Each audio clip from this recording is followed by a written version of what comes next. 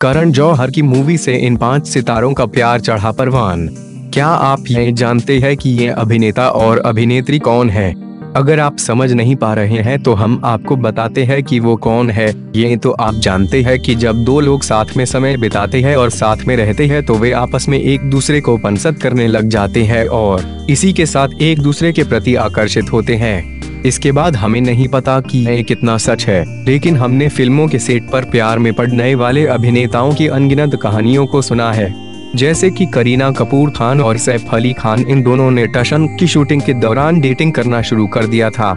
आलिया भट्ट और सिद्धार्थ मल्होत्रा की अफवाह भी उड़ी। ये इन दोनों कारण जौहर की film student of the year के सेट पर मिले थे।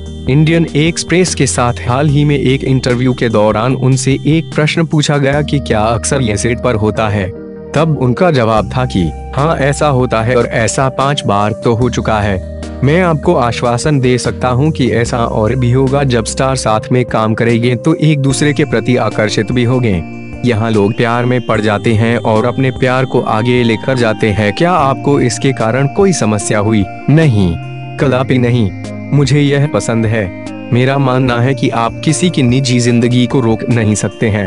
हम फ़िल्में बनाने के लिए यहाँ हैं। लोग अपनी व्यक्तिगत ज़िंदगी में क्या करते हैं, यह उनका डिसीज़न होता है। पूरी तरह से यह उनकी अपनी ज़िंदगी है।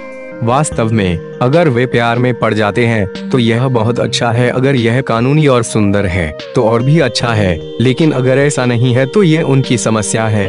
क्या यह उनकी फ़िल्मों को प्रभावित करता है? क्या यह उनकी फ़िल्मों को प्रभावित करता है? नहीं, इससे कोई फ़र्क नहीं पड़ता है।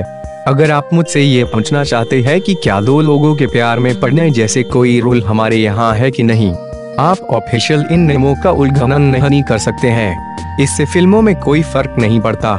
जब आप सड़क पर या कहीं बाहर आउट ऑफ़ स्टेशन शूट करते हैं तो वो लोग क्या कर रहे हैं? इसके बारे में कुछ नहीं कह सकते, ना ही कुछ अंदाज़ा लगा सकते हैं। कुओ तातयोन मारक सपाचय